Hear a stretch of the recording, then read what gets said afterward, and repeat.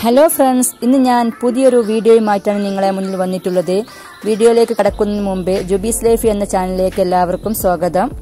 ഇന്നത്തെ എന്റെ പുതിയൊരു വീഡിയോ കാണാൻ നല്ല ഭംഗിയുള്ള നല്ല ക്രിസ്പിയായ മക്രോണി ഫ്രൈയുമായിട്ടാണ് ഞാൻ നിങ്ങളെ മുന്നിൽ വന്നിട്ടുള്ളത്. അതെങ്ങനെ ഉണ്ടാക്കാമെന്ന് നമുക്ക് നോക്കാം. ആദ്യം നമ്മൾ ഒരു കപ്പ് മക്രോണി കുറച്ച് വെള്ളത്തിൽ ഒരു നുള്ളു ഉപ്പ് ചേർത്ത് വേവിച്ച് വെള്ളം വാരാൻ വേണ്ടി ഊറ്റിവെക്കണം.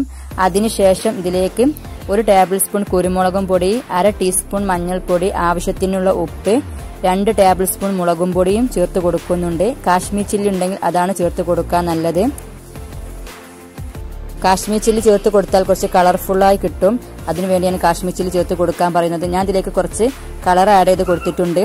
അര കപ്പ് മൈദയും ചേർത്ത് കൊടുക്കുന്നുണ്ട്. രണ്ട് ടേബിൾ സ്പൂൺ വെള്ളവും ചേർത്ത് നല്ലവണ്ണം ഒന്ന് മിക്സ് ചെയ്തെടുക്കുക. കളർ ചേർത്ത് കൊടുത്തത് കാണാൻ നല്ല ഭംഗിക്ക് വേണ്ടിയാണ്. അപ്പം നിങ്ങൾക്ക് വേണമെങ്കിൽ ചേർത്ത് കൊടുത്താൽ മതി. അപ്പോൾ ഞാൻ മിക്സ് ചെയ്ത് വെച്ചത് ഇവിടെ മാറ്റി വെക്കുന്നുണ്ട്. അപ്പം എന്റെ മക്രോണി കുറച്ച് വേവ് ഏറിയിട്ടുണ്ട് കേട്ടോ. അപ്പോൾ ഇത്ര വേവ് ആകണ്ട. ഒരു ഹാഫ് വേവിൽ നമുക്ക് മക്രോണി ഊറ്റിയെടുക്കാം. ഇനി അത് ചീനച്ചട്ടി വെച്ചിട്ട് അതിൽ കുറച്ച് ഓയിൽ ഒഴിച്ച് കൊടുത്തിട്ടുണ്ട്. അപ്പോൾ ഓയിൽ നല്ല ചൂടായി വന്നതിന് ശേഷം നമ്മൾ മക്രോണി ഓരോന്നായി ഇതിലേക്ക് ഇട്ട് കൊടുക്കുക.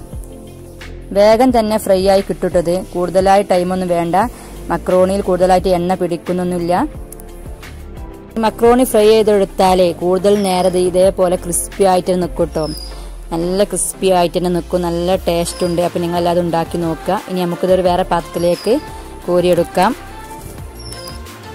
ഇനി ബാക്കിയുള്ള മക്രോണി എണ്ണയിലേക്ക് ഇട്ട് അതൊന്ന് ഫ്രൈ ചെയ്തെടുക്കാം. അപ്പോൾ നിങ്ങളെല്ലാവരും ഉണ്ടാക്കി നോക്കുക. എന്നിട്ട് നിങ്ങളുടെ ഫീഡ്ബാക്ക് എന്താ കമന്റിൽ അറിയിക്കുക. ഇതെല്ലാവർക്കും ഇഷ്ടപ്പെടും. നല്ല ക്രിസ്പിയായ മക്രോണി ഫ്രൈ ആണ്. അപ്പോൾ ഇതുവരെ ഈ വീഡിയോ ആരും കാണാത്തവരുണ്ടെങ്കിൽ ഇത് കണ്ടിട്ട് ഇതുപോലെ ചെയ്തു നോക്കുക. അടുത്തൊരു വീഡിയോയുമായി ഞാൻ വരുന്നത് വരെ എല്ലാവർക്കും ഗുഡ് ബൈ